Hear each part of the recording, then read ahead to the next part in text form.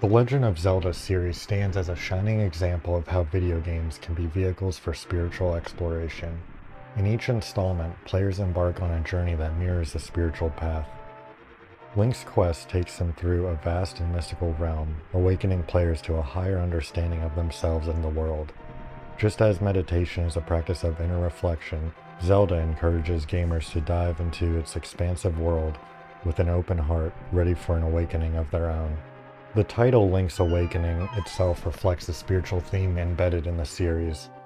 Throughout the game, Link encounters numerous trials and puzzles that require him to master his surroundings, much like the self-mastery sought in spiritual practices.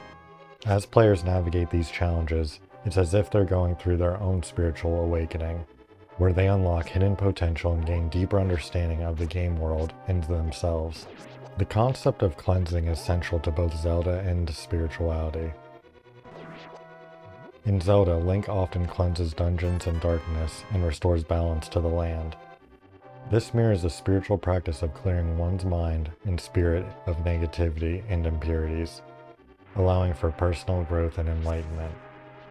Just as Link cleanses Hyrule, players find themselves energetically cleansed through their immersive gaming experience.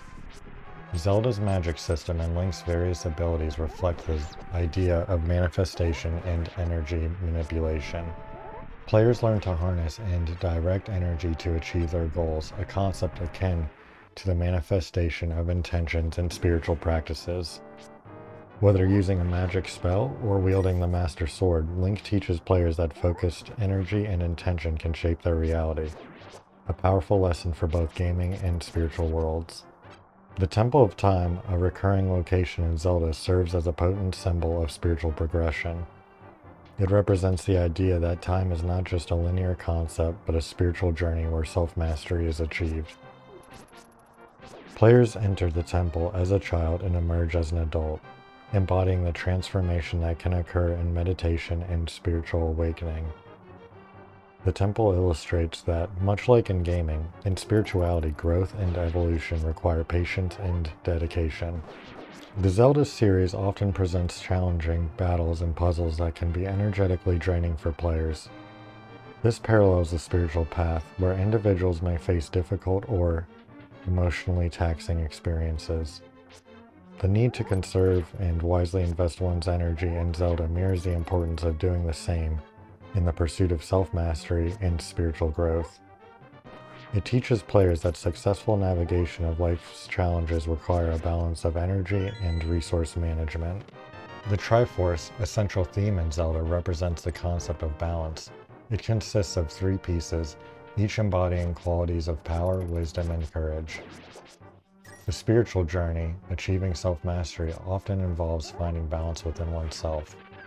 Link's quest to obtain and utilize the Triforce pieces mirrors the quest for inner equilibrium, reminding players that spiritual awakening entails harnessing and harmonizing various aspects of one's being. The Legend of Zelda series, through its immersive gaming experience and rich storytelling, offers profound spiritual lessons. Players who embark on Link's adventures often find themselves not only energetically drained, but also spiritually enriched. Zelda acts as a conduit for gamers to explore themes of meditation, awakening, cleansing, energy, manifestation, self-mastery, and balance, ultimately leading to a deeper understanding of both the game world and their own inner worlds. It stands as a testament to the power of video games to transcend entertainment and become a platform of spiritual exploration and growth.